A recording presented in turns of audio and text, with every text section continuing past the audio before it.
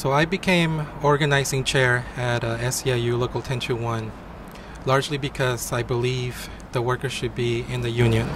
The reason for that is because together we can fight for more, especially for wages, for better benefits. Um, I also believe that having gone through the process of unionizing with my coworkers, it is also a very empowering thing for us to be part of the union and look out for each other as co-workers and making sure that we're organizing at all times for what's best for all of us and our families and the people that we live with and in our communities.